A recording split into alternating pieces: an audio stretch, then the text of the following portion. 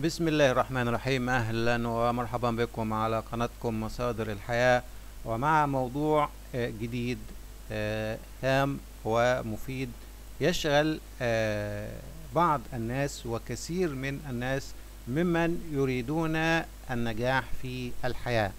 والسؤال الذي يحير والذي احتار فيه كثير من الناس كيف ينجح الناس؟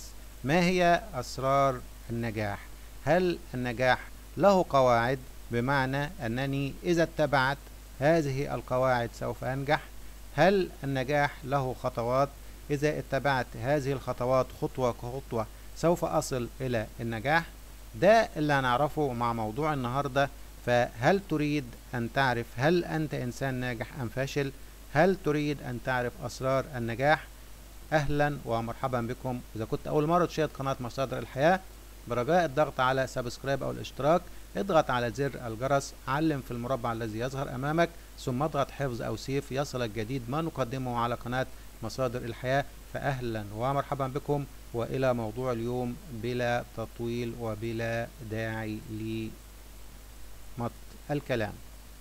آه يقول خبراء التنمية البشرية أن آه النجاح يأتي مع التخطيط والإصرار والمصابرة وغيرها من الأشياء وهي فعلا بالتأكيد هامة ومفيدة للنجاح. ولكن كي تعرف كيف ينجح الإنسان لابد أن تعرف ما هو النجاح.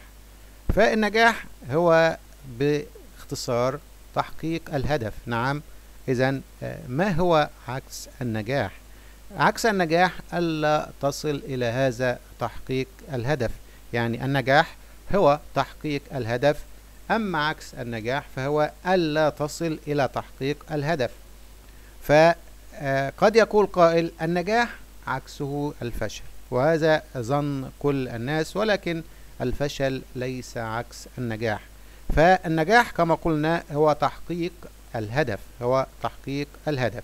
فإذا لم أحقق الهدف فأنا إنسان فاشل ولكن لماذا لا أصل إلى الهدف أو إلى تحقيق الهدف؟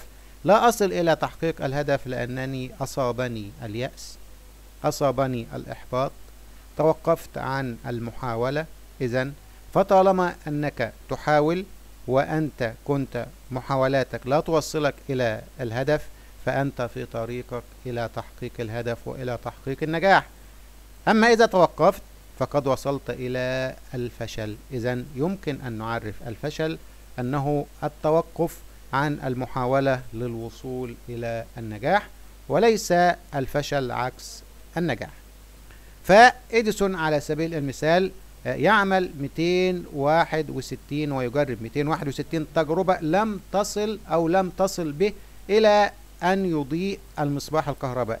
هل هذه المحاولات وهذه التجارب تسمى فشل؟ لا هذه كلها محاولات وصلته إلى الهدف وهو اختراع المصباح الكهربائي يقول أحد العلماء أن الإنسان كالمغناطيس الإنسان كالمغناطيس جاذب بطبعه فإذا لم يجذب فإن ذلك يكون بسبب وجود حائل بينه وبين ما يجذب يعني إيه؟ الإنسان جاذب كالمغناطيس. الإنسان يجذب ما يفكر فيه وما يخطط له وما يداوم عليه وما يهدف إليه.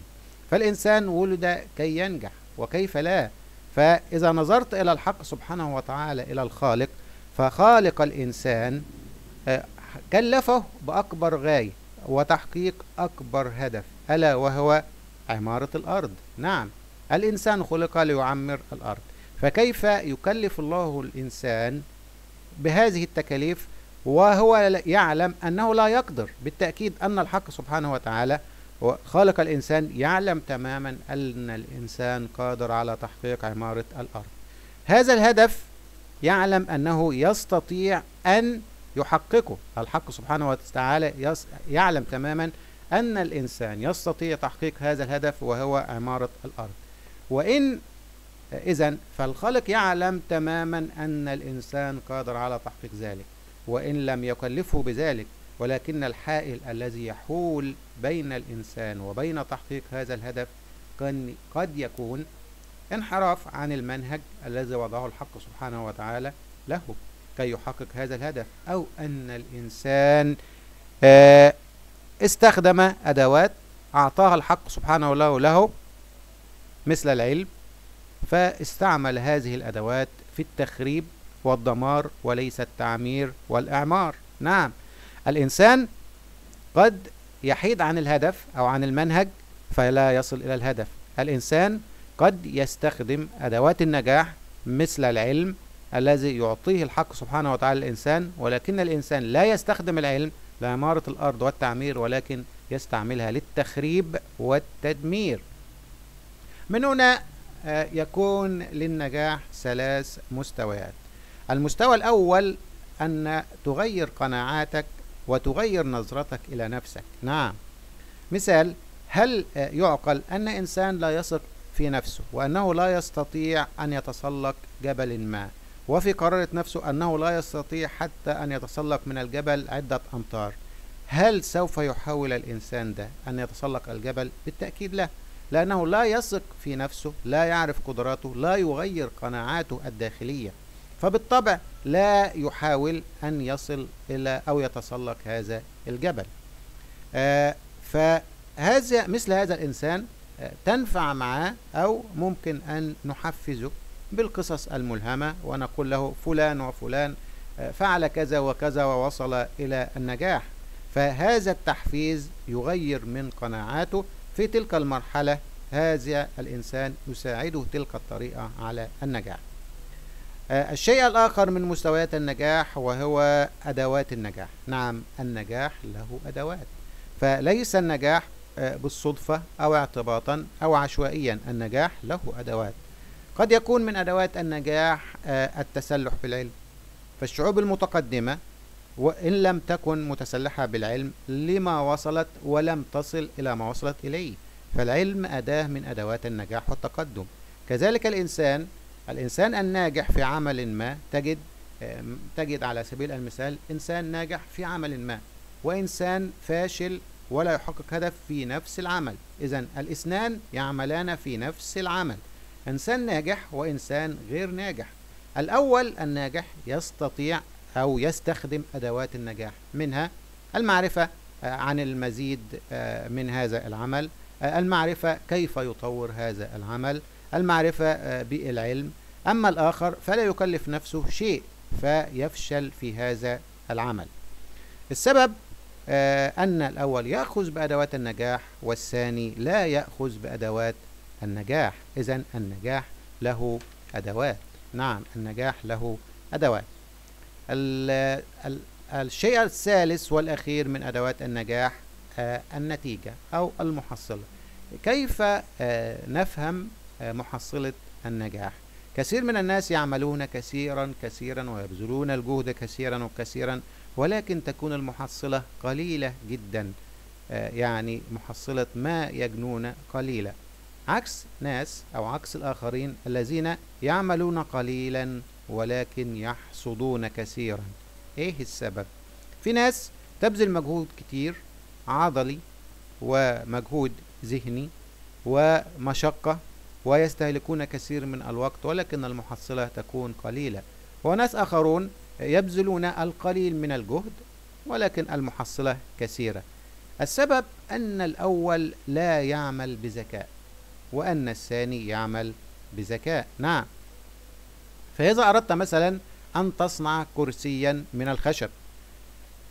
إنسان أو الأول يصنع هذا الكرسي بأدوات بدائية تستهلك جهده وتستهلك وقته. أما الآخر يستخدم الأدوات آه، الحديثة فيخرج كرسي جميل أنيق في وقت بسيط ويبيعه بثمن أكثر من الآخر.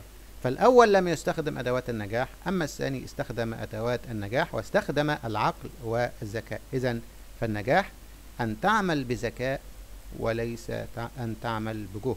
لذلك نجد أن الأشخاص الذين يعملون معتمدين على عقولهم وعلى ذكائهم يحصلون على أضعاف أضعاف ما يحصلون عليه من يعملون بعضلاتهم. نعم الذين يعملون بذكائهم وبعقولهم يحصلون ويحصدون أضعاف ما يحصده الذين لا يعملون ولا يهتمون إلا بعضلاتهم من أكبر عوامل النجاح وأدوات النجاح الزمان والمكان والعوامل المحيطة.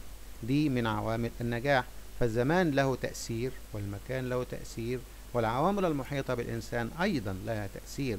لذلك تجد أن الفاشلين أكبر شماعة يعلقون عليها فشلهم هي الظروف والأقدار. ولكن الناجحين هم من يحاولون تغيير هذه الظروف يبحثون عن أدوات النجاح ولا يملون من ذلك ويستمرون يبحثون عن أدوات النجاح حتى يصلوا إلى تحقيق الهدف وهو النجاح. إذا فالنجاح سهل ولكن ليس له قواعد محددة لنقول لك أفعل كذا وكذا وكذا وكذا ثم في النهاية ستصل إلى النجاح. نأخذ بالأسباب. نعم نأخذ بأسباب النجاح. ولكن دائما نضع في عقولنا أن المحصلة ونتيجة النجاح أولا وأخيرا بيد الحق سبحانه وتعالى بيد الله. فلا نمل ولكن نستمر في البحث عن أدوات النجاح والعمل والاستمرار حتى نصل إلى تحقيق ما نريد. وفي النهاية أتمنى من أتمنى للجميع التوفيق والنجاح.